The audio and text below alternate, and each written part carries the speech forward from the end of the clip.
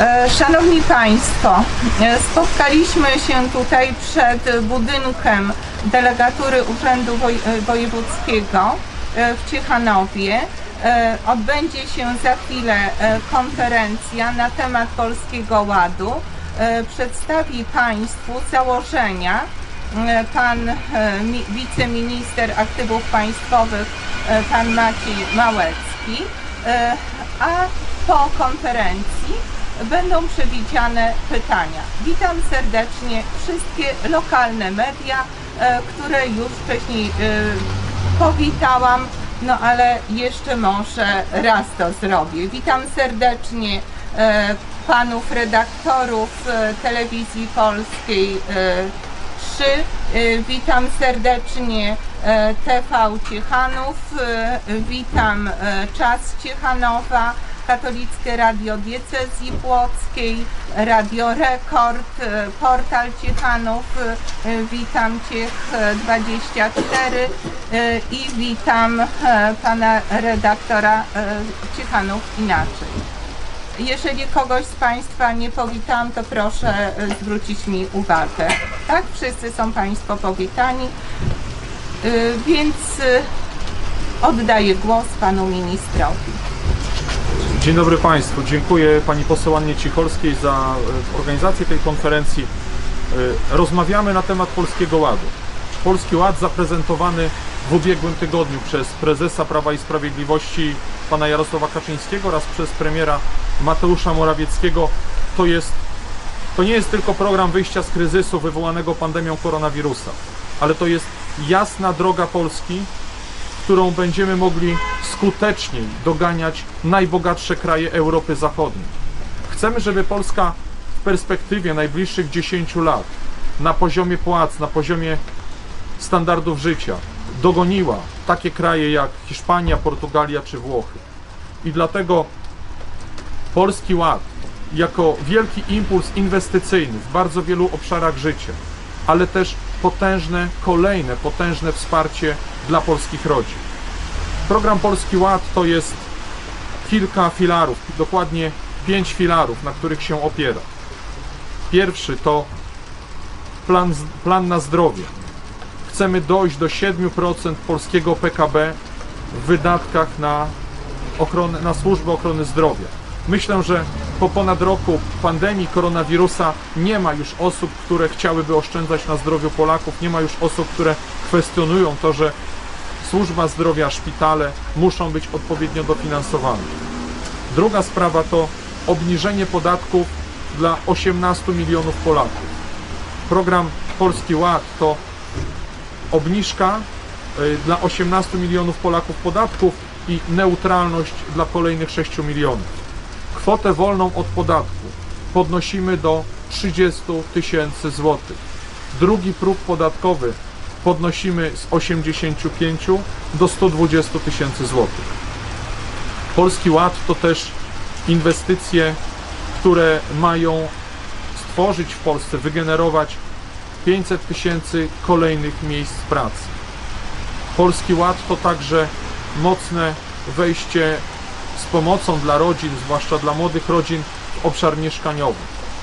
Mój dom to program, gdzie młode rodziny od 24 do 40 lat będą mogły skorzystać ze wsparcia państwa w zakresie gwarancji, y, pokrycia gwarancji przy kredycie mieszkaniowym. Te gwarancje będą płynęły przez Bank Gospodarstwa Krajowego. To będzie kwota do 40, to będzie do 40% kredytu i nawet do 100 tysięcy złotych.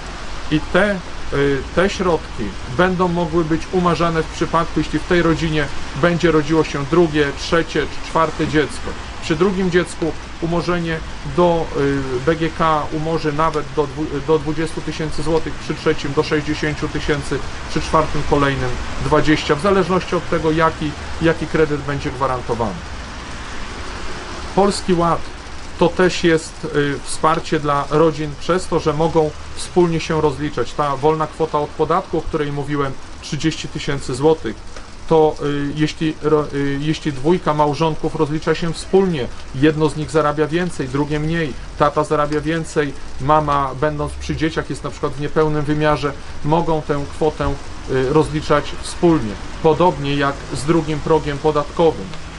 Dam taki przykład, jeśli mamy rodzinę 2 plus 3, y, tata zarabia 15, mama zarabia 8, y, jeśli odliczymy składki na ubezpieczenie, składki na ubezpieczenie, y, to podstawa opodatkowania wychodzi około 235 tysięcy złotych. Jeśli rozliczą się wspólnie, to żadne z tych małżonków nie wejdzie w drugi próg podatkowy. Przypomnę, pierwszy próg podatkowy obniżyliśmy do 17% y, jeszcze w ubiegłej kadencji, drugi próg podatkowy to 32%. Chcemy też y, bardzo mocno doinwestować w szpitale w całej Polsce. To są, y, to są plany kilkuset nowych pracowni tomograficznych, kilkuset nowych pracowni rezonansu. To jest y, kontynuacja tego, jak mocno zwiększamy nakłady na służbę zdrowia. Przypomnę, kiedy w 2015 roku Prawo i Sprawiedliwość obejmowało władzę w Polsce, wtedy nak- nakłady na służbę zdrowia to było 72 miliardy złotych 800 milionów. My w roku 2020 sięgnęliśmy 123 miliardów 700 milionów złotych. I y, jest jeszcze jedna oprócz, oprócz kosztów, y, oprócz finansów, bariera w służbie zdrowia, w dostępności Polaków do służby zdrowia. To jest y, niewystarcza, niewystarczająca ilość personelu medycznego. Chcemy, żeby w Polsce kończyło studia jak najwięcej lekarzy. Kiedy zaczynaliśmy, y, jeszcze przed y, objęciem władzy przez Prawo i Sprawiedliwość w roku akademickim 2014-15 na kierunkach lekarskich kształciło się 5,5 tysiąca studentów. Rok 2020-2021 to już 9700 studentów. Program Polski Ład to także to oznacza emerytury bez podatku dla wszystkich, którzy mają emerytury do 2,5 tysiąca złotych. Kwoty wolne od podatku, te 30 tysięcy złotych, drugi próg też są, też są dla wszystkich. To są też potężne wsparcia, strumienie inwestycji dla samorządów, ale też dla, na inwestycje, które dzieją się w całej Polsce. To są inwestycje drogowe, autostrady, drogi szybkiego ruchu, drogi ekspresowe. Y, Przewidujemy tutaj 2000 km takich dróg, 100 mostów, 100 obwodnic. Y, W drogach lokalnych kontynuujemy nasze programy. 50 tysięcy dróg, ścieżek rowerowych, chodników. To są te obszary, w których chcemy rozwijać Polskę. Chcemy, żeby Polska jak najszybciej doganiała kraje Europy Zachodniej. Przeszliśmy na tle innych krajów Unii Europejskiej łagodniej pandemię koronawirusa pod względem gospodarczym, bo mocno podkreślam, że my jako rząd Prawa i Sprawiedliwości walce z koronawirusem skupialiśmy się na dwóch obszarach. Obszar pierwszy to walka, ochrona o życie, życia i zdrowia Polaków, ale obszar drugi to ochrona polskiej gospodarki. Od pierwszych dni pandemii przygotowaliśmy i uruchomiliśmy potężne tarcze antykryzysowe. W ramach tarcz antykryzysowych do polskich przedsiębiorców trafiło 216 miliardów złotych. I to, że polska gospodarka może przy, wy, przy wygasaniu pandemii, przy wyciszaniu jej, co jest wspierane także programem szczepień, to, że polska gospodarka dzisiaj może mocno odbijać, może się rozwijać, to jest zasługa naszych przedsiębiorców, naszych pracowników, ale też tego, że szybko ruszyły skuteczne tarcze antykryzysowe. Bo dziś y, ten wygra na rynku międzynarodowym, kto będzie lepiej przygotowany do wyjścia z kryzysu. I y, to wszystko, te nasze działania nakładają się na ogromny sukces negocjacyjny rządu Prawa i Sprawiedliwości w postaci wynegocjowanych, wynegocjowanej kwoty 770 miliardów złotych w nowej, w nowej perspektywie unijnej. Te 770 miliardów złotych to są środki z wieloletnich ram finansowych, ale to są też instrumenty Funduszu Odbudowy. I my te pieniądze zainwestujemy w Polskę. My te pieniądze zainwestujemy w polskie rodziny. Skorzystają na tym polscy przedsiębiorcy, polscy pracownicy, seniorzy i osoby, i osoby młode. I to jest nasz plan na Polskę. Do tego y, te, te ustawy chcemy, żeby w, y, pojawiły się w Sejmie już w konkretnej pracy przyjmowane w ciągu kilku, w kilku najbliższych miesięcy. Kwota wolna od podatku, podwyższony drugi próg podatkowy. Chcemy, żeby obowiązywały od przyszłego roku i tak będziemy starali się prowadzić te prace. Dziś w całej Polsce na ten temat roz, y, rozmawiamy. Będą spotkania premiera Mateusza Morawieckiego, zapewne dołączy też y, w- swoją trasę pan prezes Jarosław Kaczyński, wicepremier w naszym rządzie. Chcemy rozmawiać na temat tych rozwiązań po to, żeby kolejny raz przedstawić Polakom ambitne, bardzo ambitne plany z mocnym impulsem dla naszej gospodarki, z kolejnym takim y, inwestycyjnym kołem zamachowym po to, żeby Polska się rozwijała. I w odróżnieniu od naszych oponentów, którzy są zajęci sobą, zajęci własnymi kłótniami, my przygotowujemy dla Polski konkretne, dobre programy. Tak jak program Rodzina 500, tak jak obniżenie wieku emerytalnego, tak jak bezpłatne leki dla seniorów, tak jak, tak jak wyprawka, tak jak wiele, wiele innych programów, którymi chcemy rozwijać Polskę i wspierać polskie rodziny. Tyle mówię o polskiej rodzinie, bo to jest w, na, y, w polityce Prawa i Sprawiedliwości rodzina jest w centrum. Rodzina jest podstawową komórką naszego społeczeństwa. Mocno podkreślamy to, że kiedy nawet Polski nie było na mapie w czasie zaborów przez ponad przez sto kilkadziesiąt lat, to Polska przetrwała, bo te wartości zawarte w Polsce, w naszej ojczyźnie zostały przeniesione do wolnej Polski właśnie przez polskie rodziny. I dzisiaj, kiedy wiele środowisk atakuje rodzinę, niesamowicie prowadzi agresję wobec rodziny, my rodzinę wspieramy i chcemy, żeby wokół rodziny rozwijała się cała polska gospodarka. Dziękuję Państwu, tyle, tyle z mojej strony na wstępie. E, Dziękuję Panie Ministrze, a teraz czas na zadawanie pytań. E, Proszę bardzo, Państwo redaktorzy Panu Ministrowi mogą zadawać pytania. Oczywiście związane z Polskim Ładem. Czy Polski Ład e, jest już w jakiś sposób, sformalizowany, to znaczy czy są, trwają albo już są napisane ustawy, jak to wygląda? Tak, y, znaczna część ustaw jest już przygotowana. W kilku, w kilku w szeregu rozwiązań trwają jeszcze konsultacje. Program Polski Ład dotyka tak naprawdę wszystkich obszarów naszego życia. Więc to będzie taki y, bezprecedensowy program, y, który, który jest największym z tych, które wdrażaliśmy. On jest liczony na więcej niż jedną kadencję. Tak, ja mówiłem tutaj o y, o dekadzie, w której chcemy dogonić w wynagrodzeniach Włochy, Hiszpanię, Portugalię i, i w innych obszarach poziomu życia, chociażby, chociażby obsługi w służbie zdrowia, ale z tego chcemy ruszyć jak najwcześniej i chcemy, żeby te ustawy, które, y, które y, będą dotyczyły programów, które mogą wejść już od przyszłego roku, ja szczególnie liczę na kwotę wolną od podatku 30 tysięcy złotych na drugi próg podatkowy, żeby już były przyjęte jesienią tego roku. I my w polskim Sejmie, odkąd, y, odkąd rządzi Prawo i Sprawiedliwość, bardzo sprawnie pracujemy nad ustawami. W tej kadencji, no myślę, że macie Państwo też znakomite rozeznanie. Widzicie, że takim, e, taką barykadą e, hamulcowym tych zmian jest Pan Marszałek Grodzki, który nawet dla najprostszej ustawy potrzebuje miesiąc. Dzisiaj chcemy, żeby y, te 770 miliardów złotych dla Polski było jak najszybciej ratyfikowane, żebyśmy jak najszybciej mogli te pieniądze uruchomić także dla Ciechanowa, bo to oznacza też wsparcie dla samorządów. Ta, ustawa, no mówię to z uśmiechem, ale takim trochę ironicznym. Ta ustawa, która leży na biurku marszałka Grodzkiego ma 30, liczy 34 słowa. On na przeczytanie i zastanowienie się nad 34 słowami w ustawie potrzebuje około miesiąca. Apelujemy, prosimy, żeby y, i marszałek Grodzki, i Platforma, i PSL nie hamowały tej ustawy w Senacie.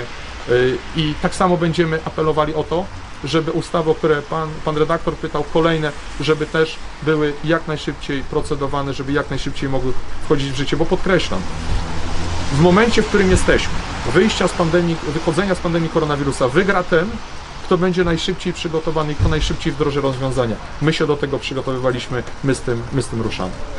Jaka część e, funduszy związanych czy to z Nowym Ładem szerzej, czy trochę węziej z tymi 770 miliardami e, z Unii Europejskiej będzie przeznaczona na innowacje, ponieważ e, głównym waszym e, Państwa przesłaniem jest pomoc rodzinie, pomoc społeczna taki społeczny wymiar tych pieniędzy, natomiast no nie, nie, nie podkreśla się e, inno, po- postępu gospodarczego, tak, i innowacji w gospodarce, które myślę, że są no, ważnym elementem rozwoju każdego kraju. My do innowacji przywiązujemy bardzo, bardzo dużą wagę. Przedwczoraj byłem w Płocku na otwarciu arcynowoczesnego Centrum Badawczo-Rozwojowego Orlenu. To jest miejsce, gdzie s- spotkają się najlepsi inżynierowie, najlepsi specjaliści praktycy z branży biznesu, szeroko rozumianej s- sfery paliwowej, petrochemicznej, rafineryjnej y, i y, elita naszej nauki w tym obszarze, po to, żeby wypracowywać najlepsze rozwiązania. W Polskim Ładzie też będą zachęty do inwestowania dla przedsiębiorców, chociażby przez to, że no, mniejsze podatki są liczone od, y, od mniejszego dochodu, jeśli tam, jeśli pojawiają się, pojawiają się inwestycje. Nawet było na którejś z konferencji takie pytanie, co jeżeli, jeżeli przedsiębiorca na koniec roku, żeby trochę obniżyć, obniżyć swój wynik, będzie inwestował. Dobrze, jeśli będzie inwestował, to będą, to będą, mniejsze, to będą mniejsze podatki.